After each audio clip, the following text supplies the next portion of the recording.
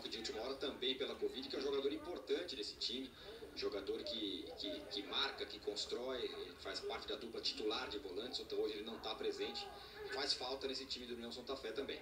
Aliás, além dele, né, o Trojanski, que o Tirone destacou no início da transmissão, pelo excesso, né, estourou o limite de cartões amarelos e por isso também não está à disposição hoje no União Santa Fé, que vem avançando com o Zenon. Voltando a Corvalã. Corvalã rola a bola, faz o passe de novo curtinho com Nery Leies. Este é Galvão, abrindo a Blase. Abriu a Blase, opção. Blase fez o passe à frente.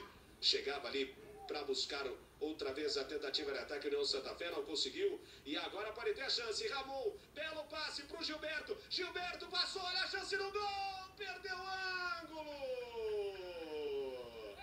Gilberto bateu o goleiro Moiano. Mas ficou sem ângulo, tentou vem da finalização. Que grande.